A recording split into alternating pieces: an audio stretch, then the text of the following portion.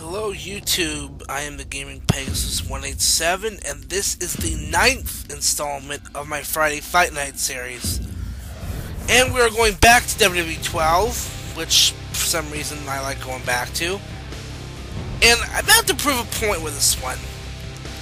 I think I remember mentioning in one of my earlier videos that Michael Cole is an absolute bitch on this game. And I don't mean bitch but like he's a pain in the ass. No, I mean a bitch because he sucks. So we're doing Jim Ross. I'm playing as Jim Ross. It's gonna be a last man standing match. And, and I'm out to prove and show why you would ever want to use Michael Cole. The only thing he's good for is being a punching bag. The following contest is a last man standing match. The only way to win this match is to incapacitate your opponent. I love this. The ring, WWE Hall of Famer, good old JR. Jim. And literally, Jim Ross got the exact same stat level as Michael Cole. He's at 71.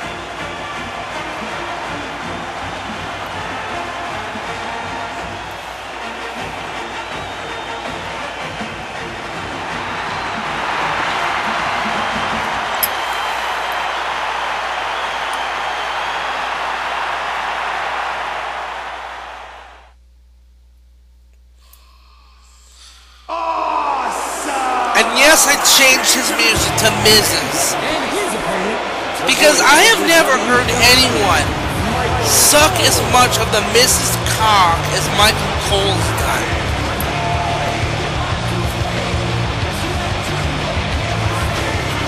Gosh. I mean, good God, this fucking singlet's ugly as fucking. Watch this, watch this. He does a push-up.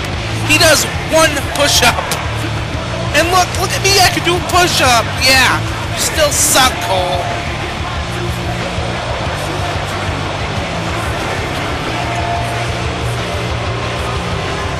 Look, he's waving to the entire crowd, like, hey, hello, I'm Michael Cole.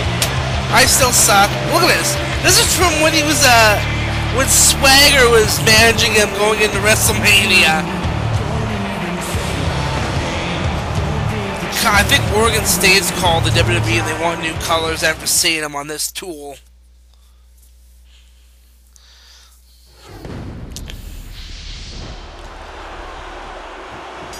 And how that happened, I don't know. Match is underway. King, this isn't about pinning your opponent or making them submit.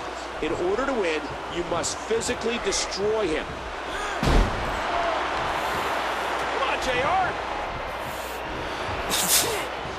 Yeah, not the best way to start, to be honest. By any means necessary. Use that grapple. Again, don't expect a technically sound competition here. This match will very much be akin to a barroom brawl. And he does it one more now time. you've pissed off Jim Ross, Cole. Shot to the skull. Now, the reason I can't stay on Michael Cole, let's get this out of the way, is he's annoying. He's the, like, when you outsuck Mike Adamle as far as announcing, He does it again. yeah, you have to suck really bad to outsuck Mike Adamle, okay?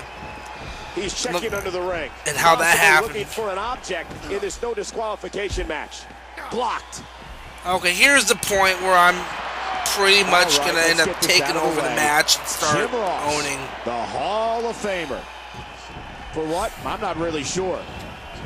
It's not like he won a match at WrestleMania or anything. Sat in my chair for 12 years, lulling viewers to sleep with his slobber knocker this and government Yeah. mule that. Are you kidding me?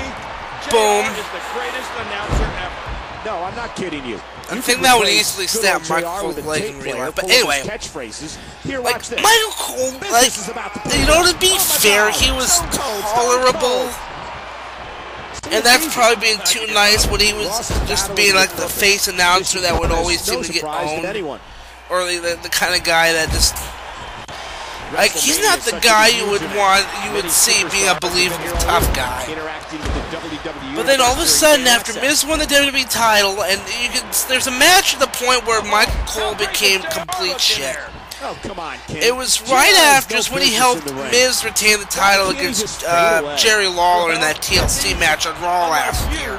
The And Universe loves JR and they enjoy seeing it. I mean, and that was the point where Michael Cole, like to me, went from annoying to unbearable. Because at that point, that's when he started kissing Miz's ass. That's when he started Just think about what it would standing mean up, jumping up and down every time the On Miz the came out. Stage of them all. Big move. In fact, I always make the joke that every time Miz's music hits, Michael's sitting there Michael fucking Cole, fapping. course, So, his brilliant career. Are you really going to give your own bio?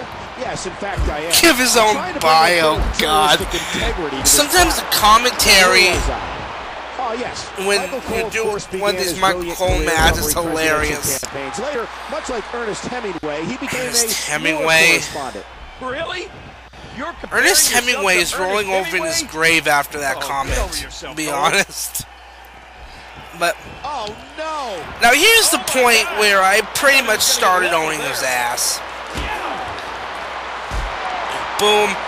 Clocked him in the back of the At head. He's looking to do more damage with that object. and there's another smack. Boom, him with the chair. Again, this Punch a chair into his face, match. which you'd never seen Jim Ross do. has begun to take its toll. And I'm just like literally kicking his ass. Jim Ross is just embarrassing himself in there. Really? It looks like he's doing pretty good to me. Well, yeah, right now, but things are going to go pretty bad for him. Okay, here's the point where when the men end up winning the uh, match here. He Spoiler alert. Just about to get his head taken off. And look, this is the last move I do, by the way. But look at this. He And this is it. He's quickly becoming attached to that chair. Five. I mean, The referee and there, this is it. I mean, I beat his ass. Like, I don't even hit a finisher or anything.